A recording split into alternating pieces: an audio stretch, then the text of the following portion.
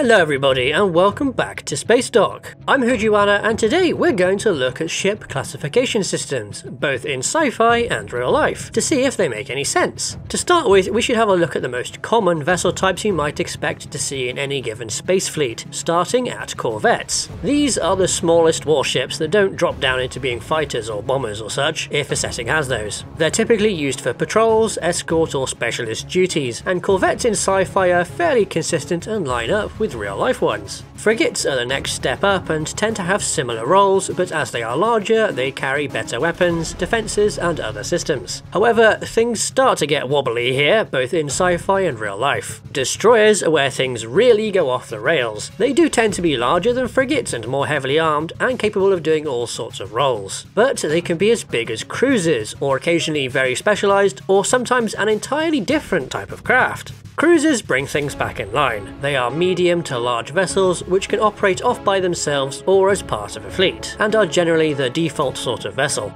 Stepping up again, we get to battleships, large, heavily armed and heavily armoured weapons of war. This is where the big guns are and what entire fleets can be built around. The other big vessels are carriers, which are fairly self-explanatory right up until a setting decides to muddy the waters and slap a massive armament on them for some reason. Going even further up the scale and things go off the rails again, because sci-fi has for some reason ended up with dreadnoughts being these super giga battleship type vessels, often completely dwarfing other other ships with their sheer scale. And this is completely mad because the ship they're named after was a type of battleship. A revolutionary one, yes, but still a battleship.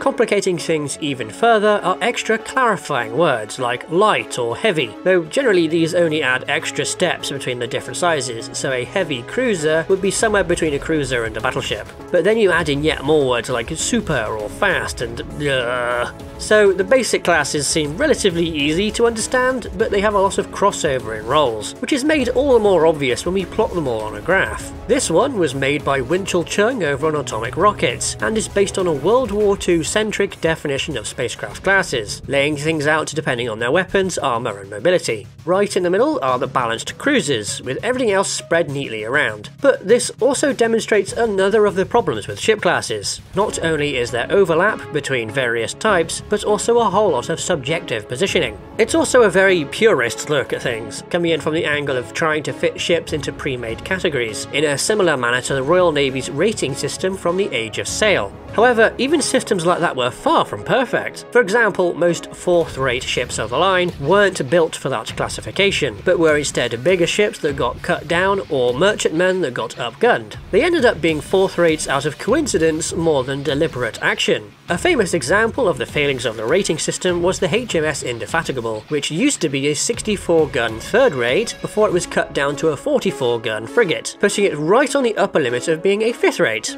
At a distance it looked like a frigate and had the speed of one, but essentially had the armament of a ship of the line. So the rating system said it was one thing, but it acted more as a hybrid of multiple ratings, capable of punching far above its weight.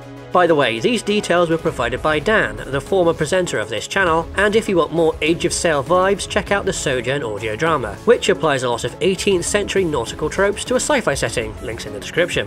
A similar preset system of ship classifications was used in the interwar period, where multiple treaties defined ship types by displacement and armament, while limiting how many could be built. But these treaties didn't apply to everyone who was building ships, and only lasted a few years. So politics also has a tremendous influence on what ships get called what, and sometimes these can get really egregious. For example, Japan's various classes of helicopter destroyer. Due to Article 9 of the Japanese constitution, the JMSDF is not allowed to maintain any offensive military capability, limiting them to destroyers at best. So what they did is make these ships which are called destroyers while clearly being able to carry all sorts of aircraft, including F-35Bs. The Soviets also pulled similar shenanigans in the 70s with their Kiev-class carriers. These were designated as cruisers so they could pass through the Turkish Straits, which excluded carriers by the 1936 Montreux Convention. The same also applies to the smoke-belching cosmic horror that is the Kuznetsov class, which is especially amusing as China bought one and they deem it a carrier. Ship classifications changing between navies isn't a new phenomenon either. Back in the 17th century, in the Age of Sail, the French Navy had come up with corvettes, but when the Royal Navy captured them, well, they didn't have corvettes in their system, so the ships were just considered sloops instead. Another modern example is the Horizon class, a joint project between the French and Italian navies. These are actually counted as a destroyer by the Italians and under NATO classification, but the French consider them to be frigates. Speaking of the NATO system, this by itself has has also led to some political silliness. In the 1970s, there was this little thing called the Cold War. You may have heard of it. The Soviet fleet was expanding at the time, particularly in regards to how many cruisers they were building. This scared US politicians because, oh no, the US Navy only had six cruisers to the 19 that the Soviets had. The problem was, this very naive look at classifications completely ignored the size and capability of the actual ships, because the US Navy had many comparable vessels that were simply classified as frigates. So to fix this utterly terrifying cruiser gap between the two navies, the US just reclassified the ships. It doesn't even need to be specific classifications for things to be a bit screwy, as you need look no further than submarines. Unlike their surface-dwelling relatives, submarines are all referred to as boats, never as ships. This stems from ye olden times when they were only small auxiliary craft launched from ships, and it just stuck. So, regardless of their size or capability, every sub is a boat, and some can even carry their own boat. So where do all the ships that are boats, frigates that are cruisers, destroyers that are carriers, and all that leave us? Uh, well, horribly confused?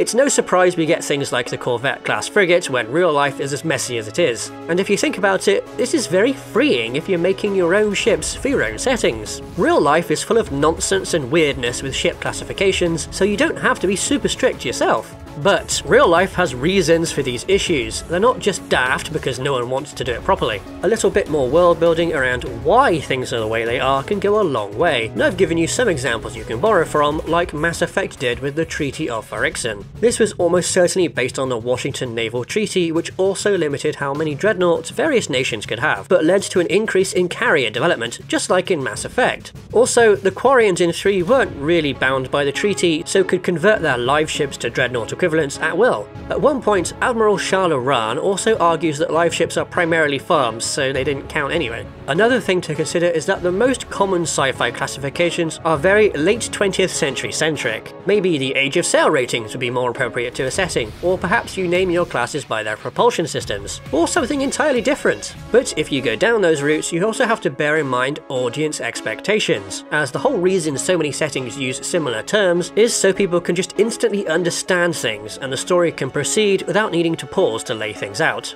If someone calls out a frigate or a battleship, you know what they mean. So all those ship classifications we see across sci-fi do mean something, but whether they make sense is still up in the air. They probably do, as while they can be messy, the real life inspiration behind them is also fairly messy. So what do you think about it all? Does the Dreadnoughts are giant super ships thing annoy you as much as it annoys me? Let me know in the comments below. You can support Spacedock by joining our Patreon where you can get our Space Fighter design reference book. Alternatively, you can support us directly through YouTube by giving us super thanks or by becoming a channel member. Thanks to our supporters and thank you for watching.